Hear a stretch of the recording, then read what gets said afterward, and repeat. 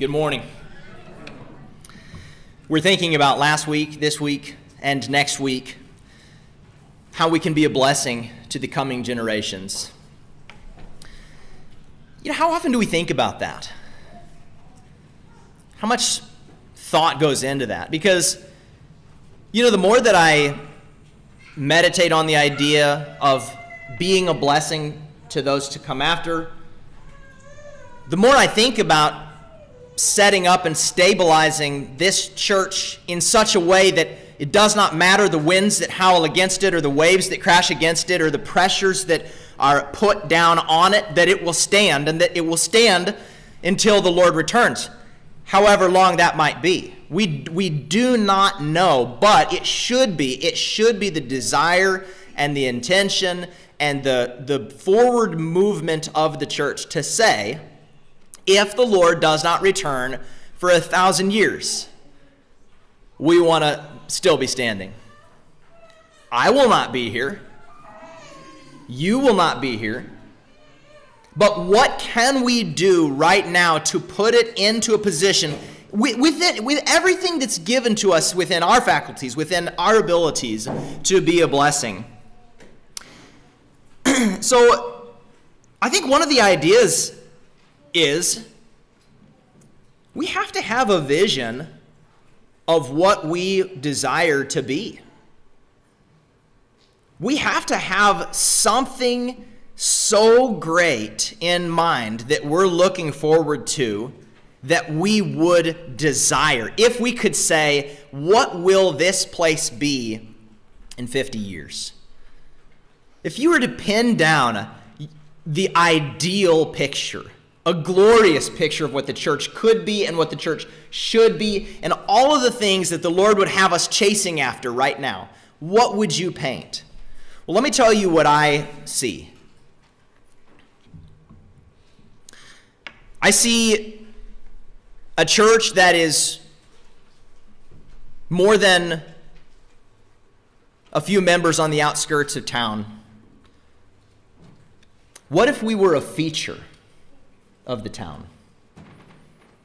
What if we were a city set on a hill that shaped local policies and the ways that things were governed? What if the leaders here and the members here and the teachers here and those involved were actively sought out by members of Kingfisher for marital counsel, practical wisdom, and questions of ethics and philosophy or religion all of the practical, difficult questions that are being asked by people on the daily, what if we beat out Google as the number one place to search for that information, at least in this region? What if a large segment of local businesses were run by our members? We were a productive bunch.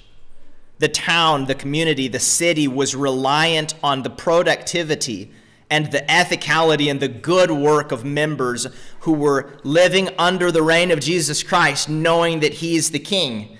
And these businesses had favorable reputations within the community for charity and benevolence and excellence in business. What do you envision that this church is going to be in 50 years? I see a church of 300 or 400 or 500, maybe more, in which a large group of shepherds oversees the work. A big number of deacons are at service within the work. There are multiple ministries that are happening. I see our church as an education center for all ages, including graduates, graduates who wish to pursue studies in theology and ministry I see our church as a center for leadership development, a place where young people are mentored and trained for excellence in ministry and leadership.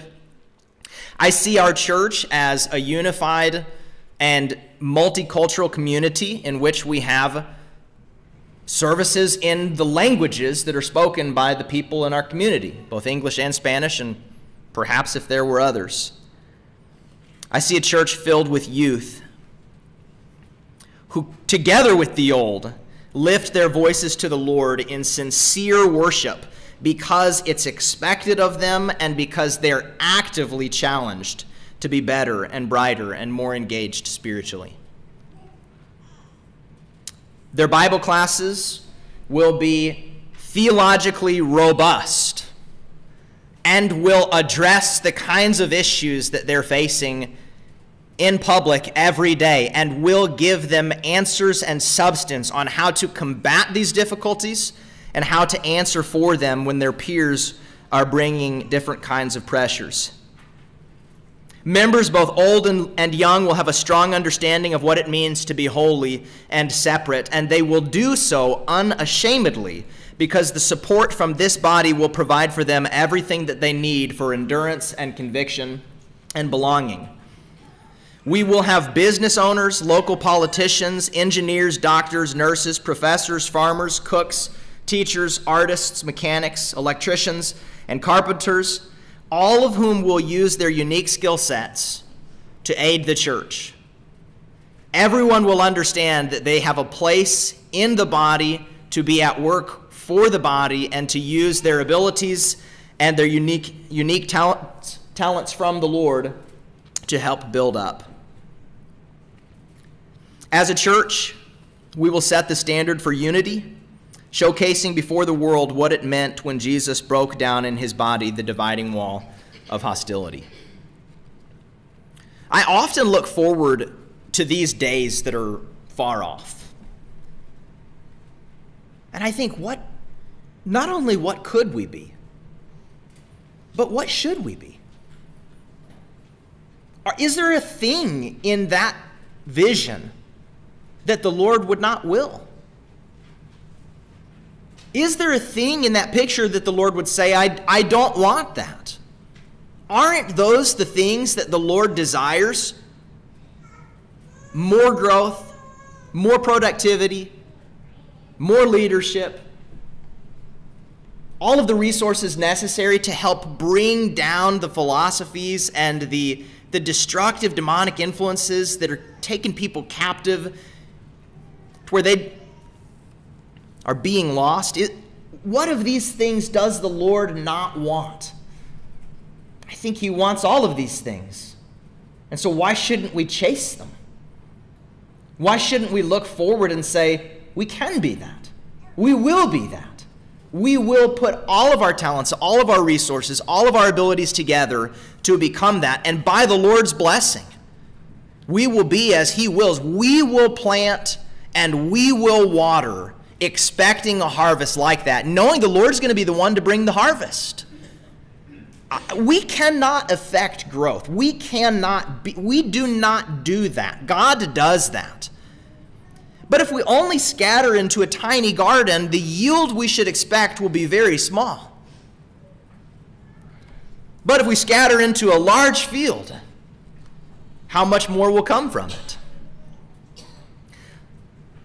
Look, I mean, we can be honest. When we look around in the world as it's going today, you know, and, and, I, and I do want to say, we, had, we do have good news the other day. Brother Barry mentioned it in his prayer, but, you know, the, the overturning of Roe versus Wade after 50 years is no longer a co- constitutional right to abort a baby.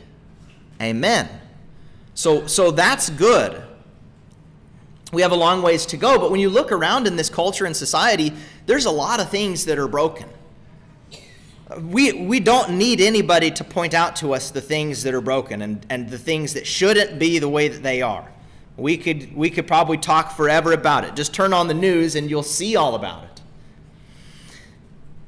But when you're looking out at these issues that, that do exist, we don't want to be unrealistic. We don't want to pretend that they're not there. I do think that there are two really bad things that the church and the people of God could do. And I talked about one of them last week which was one of the responses. So I'll, I'll give you two responses that are bad, and we don't want to have this kind of response. One of them is to do like Hezekiah. Remember, Isaiah came to Hezekiah and he said, Hear the word of the Lord. Behold, the days are coming. Hezekiah is king of Judah. Hezekiah had been prospered richly. Hear the word of the Lord. Behold, the days are coming when all that is in your house, and that which your fathers have stored up till this day, shall be carried to Babylon. It's going to be taken from you. Nothing will be left, says the Lord. And some of your own sons, Hezekiah, who, will come from you, whom you will father, shall be taken away, and they shall be eunuchs in the palace of the king of Babylon. I can't imagine a worse picture for my boys than that they would be emasculated and put into the service of a pagan king. Can you imagine a worse thing? God said that to Hezekiah. That's what's going to happen, Hezekiah. And Hezekiah responded like this The word of the Lord that you have spoken is good. For he thought, Why not, if there will be peace and security in my days? We don't want to react like that. If you see the writing on the wall that what our children is going to inherit is not going to be good, to say, well, so long as it happens after I've parted from this world, that's fine.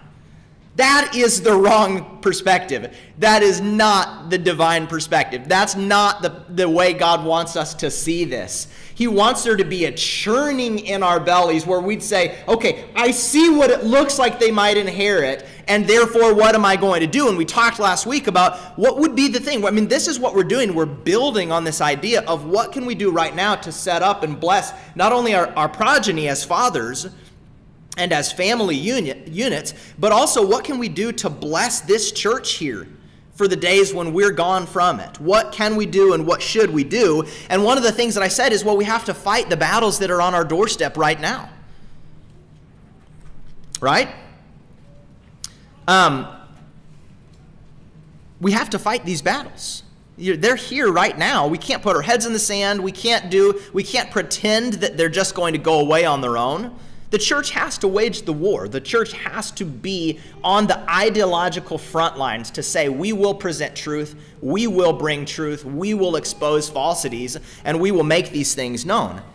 But the other thing that the church could do that's, that's not good, because I don't think that most people in this room are going to be like Hezekiah and say, I just don't care. But, but here's the more common one. I was listening the other day to some guys that were talking about the conservative movement within the United States and really, you know, breaking open what are we really conserving? If you're just looking at broadly um, like cultural conservatism as it exists now, and it's really not conserving anything, not much. You know, um, Dave Rubin and his partner, um, his, his homosexual partner, are adopting two children and the conservative movement, you know, Prager University and the Daily Wire, and these groups that are all quote unquote conservative are praising this. What are we conserving if we're not conserving the most foundational institution of society, the family? But he's saying, but here's the thing one of the things that you do see, one of the things that the conservative movement is really good at doing is being critical and critiquing and doing a lot of yelling. You just turn on the news. Turn on Fox News.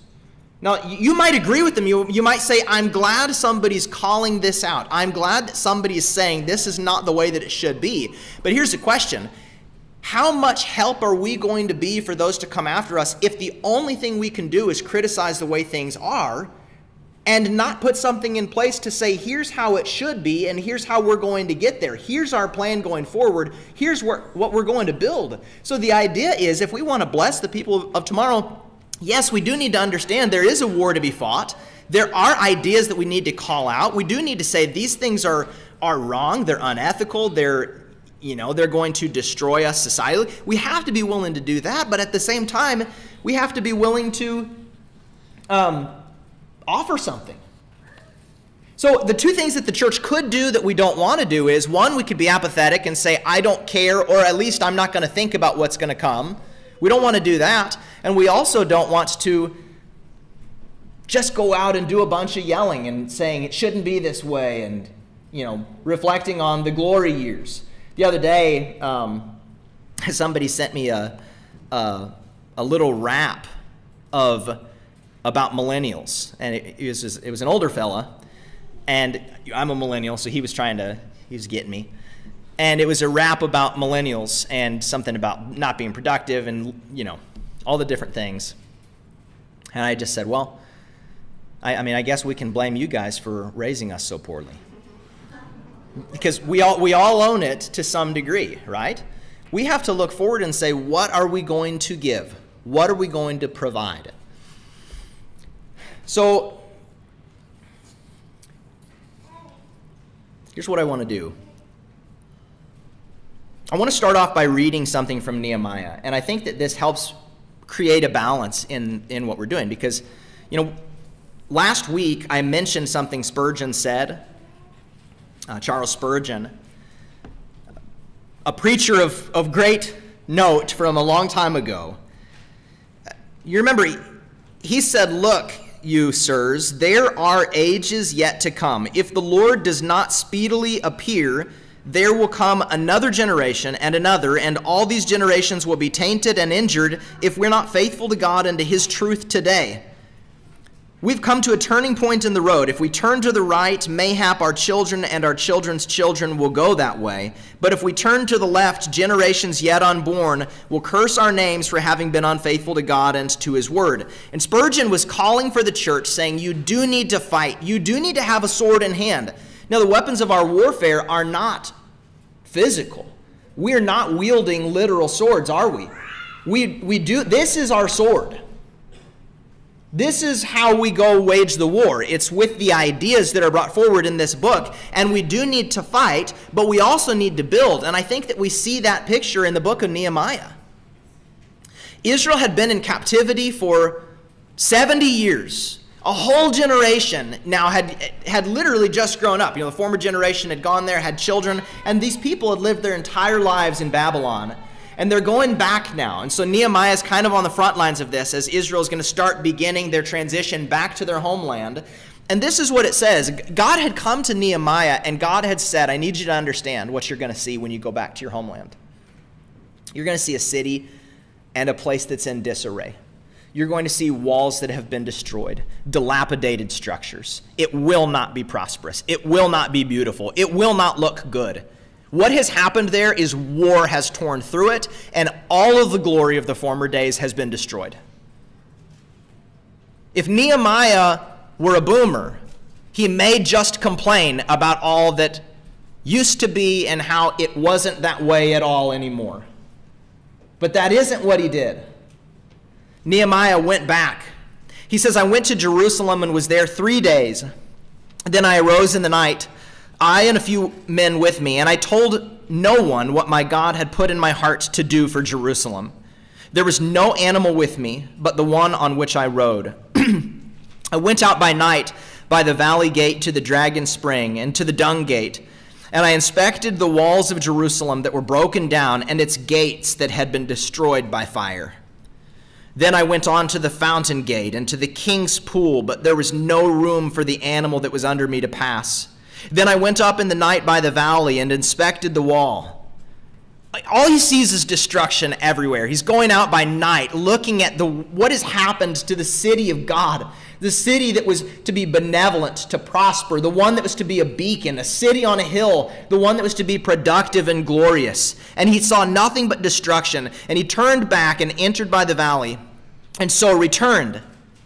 And then it says, Nehemiah says, I said to them, so he goes back to the leaders after he'd gone and scouted. He said, I said to them, You see the trouble we're in. And can I ask that same thing? You see the trouble we're in. Do you see the, the trouble we're in? Do you see the trouble we're in?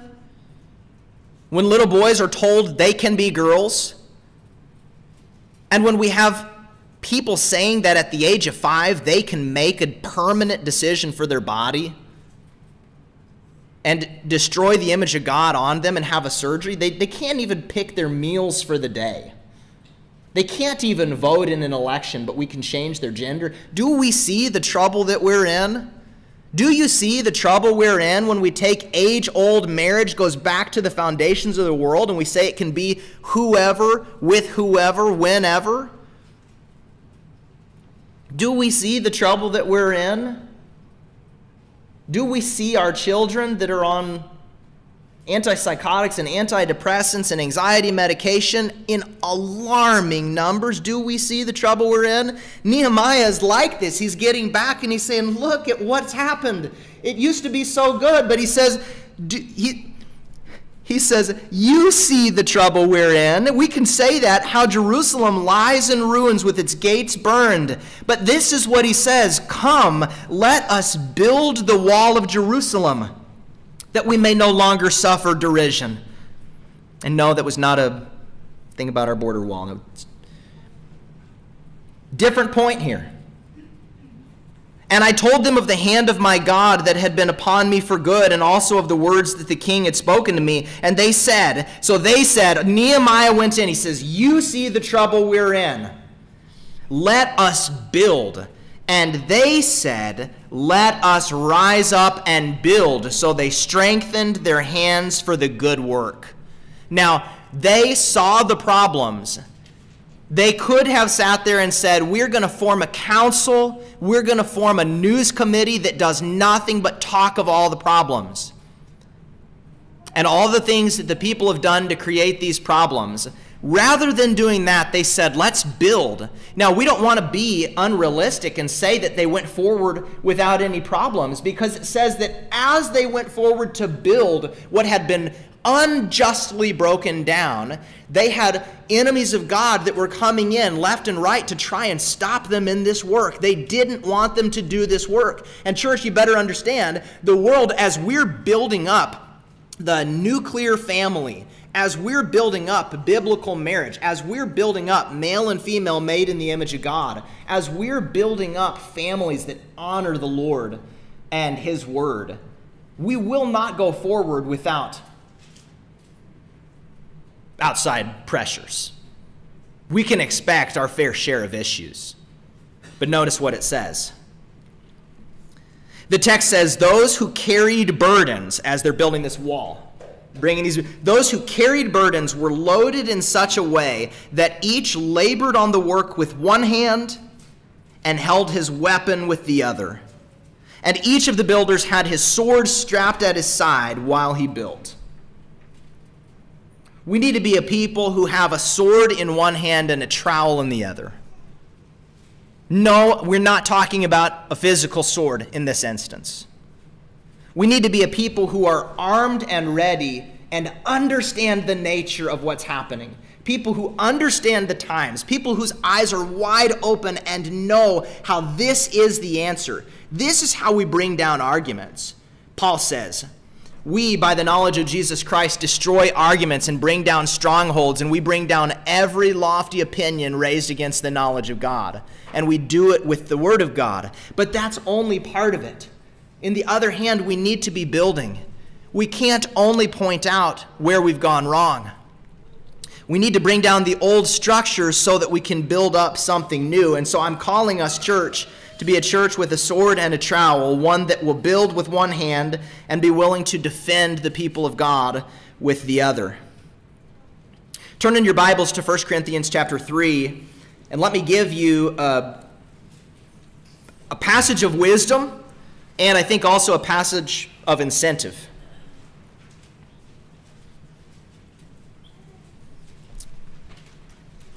First Corinthians chapter 3, look at verse 10.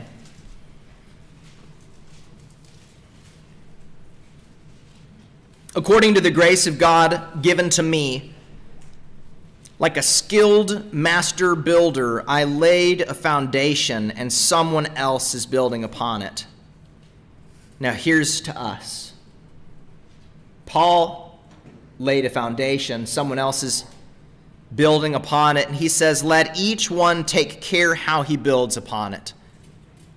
For no one can lay a foundation other than that which is laid, which is Jesus Christ. He's our starting point.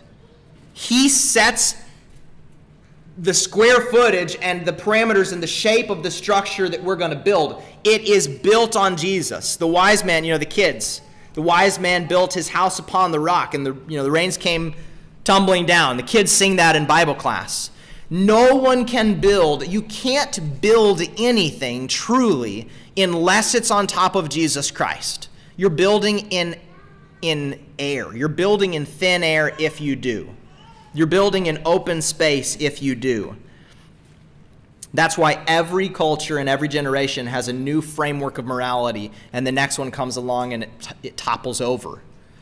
So, if anyone builds on the foundation, verse 12, with gold, silver, precious stones, wood, hay, straw, each one's work will become manifest, for the day will disclose it because it will be revealed by fire, and the fire will test what sort of work each one has done. If the work that anyone has built on the foundation survives, he will receive a reward. If anyone's work is burned up, he will suffer loss, though he himself will be saved, but only as through fire. Let me ask you. Maybe you need to go read it again. But how well does that passage inform everything that you put your hands to do going forward? How well does that passage inform why Paul said, Whatever you do, do it mightily as for the Lord? Paul's, Paul says, Here's the foundation it's Jesus Christ. We need to be building but take care how you build. Be careful how you build because what happens if you build with straw? How well will that structure stand the test of time? What, what child, what future generation wants to inherit a home made of straw or hay? And Paul is saying, take care, Christians, churches, church leaders, as you're looking forward and you know we need to build, we need to build the kingdom of Jesus Christ, he's saying take care how you do it. Put real thought, real consideration, real concern into doing whatever you do excellently. Do it the best you possibly can. This is going to inform and change the way that we do everything. Because there's not going to be a haphazard kind of building going forward. There's not going to be a meandering kind of building process. We're going to build it with wood, and we're going to build it with stones, and we're going to build it with precious stones and with gold. Where we're going to build something that people can look on it, that number one, the winds that they create culturally and ideologically won't be able to push it over, nor the people that are standing inside of it. But it's also going to be something that's so ornately decorated that people around are going to see it and they may push against it, but they'll know there's something to what those people are doing. We're not talking about a physical building here, are we? We're talking about the beauty of the Lord's church. We're talking about the beauty and the productivity of the people of God, of a man of God or a woman of God or a business owner or a doctor or engineer, or whoever who goes forward and says, What I'm doing here is not for my boss, it's for the Lord Jesus Christ. And I'm going to give him what he as king deserves. When you, when you have a whole church of Christians in one area that have that mindset, the world's going to start looking. And they're going to say, There's something different about those people. Look, when we get to the end of our lives, there's part of the there's there's a dual incentive. One is you don't want your work to be burned up. And, and Paul's saying that's a possibility. You could labor your entire life. And if you didn't take care how you labored and what you did, and you did shoddy work and you did it haphazardly, you could get to the end of this life. And as the revealing of fire comes upon it, it could just destroy your work. You could look back at the end of your life and you could say, everything I labored for, everything I did because I didn't do it well is burned up. Now he's saying, You may yourself be saved, but all of your labors, there'll be nothing to show for it. There will be nothing that goes beyond your life. The people to come after you won't benefit from it. But we need to build everything excellently. That's the call. Build excellently. What this means is, church, where does it start? There's four governments that God has created in this world the self, the family, the church, and civil government. All of these governments created by God, created for God. And you have to begin in the self before you move to the family, before you move to the church, before you move to looking broadly at how this is going to be done. But, but that's how we would build. And so it would start in the self. It would start inside. The Romans had this idea that was called pietas, our English word piety, not to be confused with the lesson that I did recently on pietism. It's a different idea. But it was this idea that the Romans had in Roman society that every man had and every woman had within themselves a duty, not only to themselves, but a duty to their family and a duty to their people. If we're going to build a good self, if we're going to it, we're, we're going to start on the inside and we're going to say, I have obligations that go beyond myself. I, as a man, have obligations to those little boys that are sitting there and to that little girl that's sitting there. I have obligations to look out for them. I have obligations to this church. I have obligations to this town and to this city to serve them well. That, that starts on the inside. And I, I believe the first place we build is we build inside the self. Be the best self you can possibly be. Master yourself, bring yourself under control. And that is, after all, one of the fruits of the Holy Spirit. We would build good homes. We would be hungry to be good husbands, and hungry to be good wives, and hungry to be good parents. We would have family meal times and daily devotions and a lot of family recreation, just spending time together in that way. We as parents would look on our children and we'd say, the most important thing I can do is instill virtue and a faith in God and a productive spirit into them. And so I'm going to do that as a parent. I'm going to actively teach them. And we're going to talk about these things every day because I want them to grow up. I have a duty to them and I have a duty to my society to create someone that's good and productive and law abiding and going to help. we would develop elders as a church. If we want to be doing everything excellently, I was asking some guys recently, when's the best time to plant a tree? Was it 20 years ago? Isn't that what they say? But when's the second best time? To plant it now.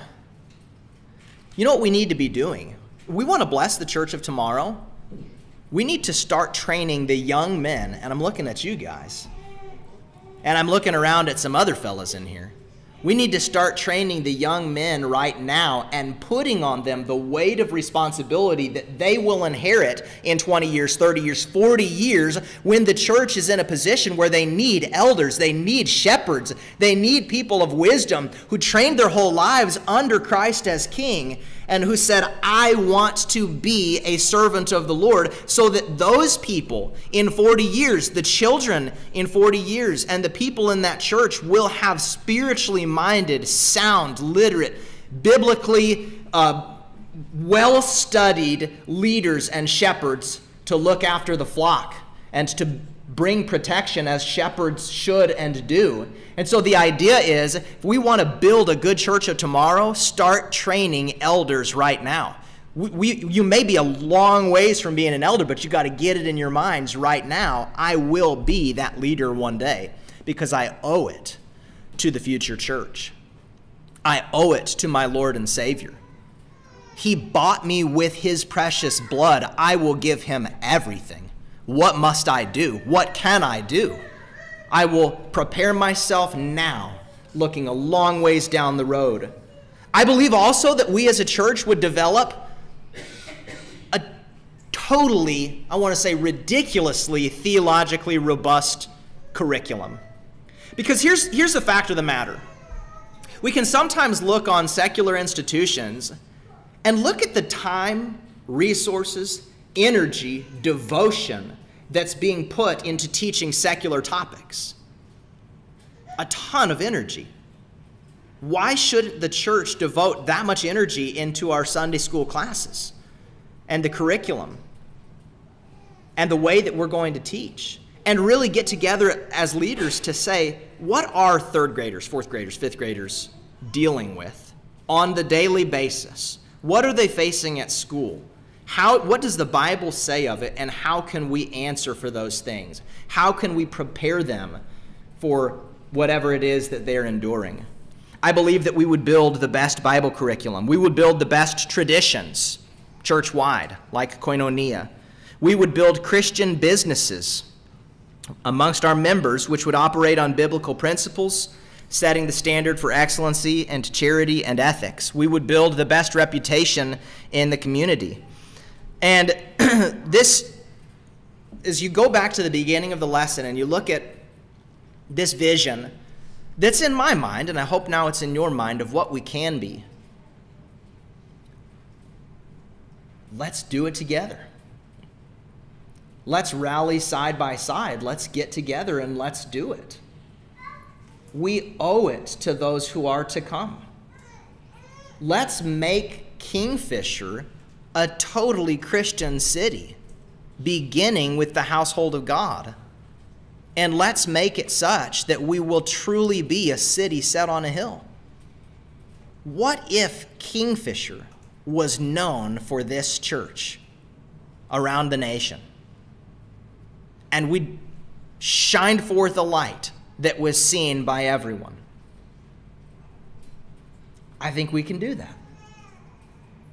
So let's do it together. Let's get on our knees and let's petition the Lord together. Let's see the greatness of the vision together. Let's build Christ's kingdom together. And we will hold a sword in one hand and a trowel in the other. And I do believe the Lord will prosper us in this. Let's stand and sing.